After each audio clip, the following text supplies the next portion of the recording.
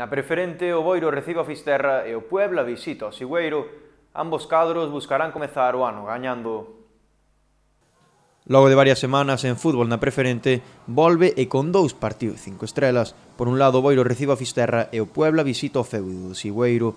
Os brancos marchan sextos na tábua clasificatoria e veñen dunha dura derrota fronte ao Paiosaco por 4 goles a 0 coa que pecharon o ano. 17 puntos son os que ten o cadro e Luis Carro, a dous tan só do Pino que marca o quinto posto que dá acceso á promoción.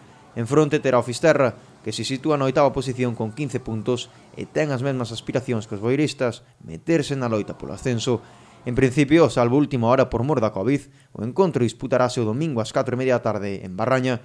Doutra banda, o Puebla visita o segundo clasificado, o Sigüeiro, Os de Jesús Mella veñen de vencer na Casa Orteixo, que marcha líder nun encontro que lle servirá para recuperar confianza e buscarán manter a boa dinámica fronte aos de Oroso. O Sigüeiro, pola súa parte, conta cun equipo mozo adestrado por Cardeñosa e xogadores coñecidos na zona, como é o caso do central Pablo Pérez, Miguel Pérez ou Diego Rivas.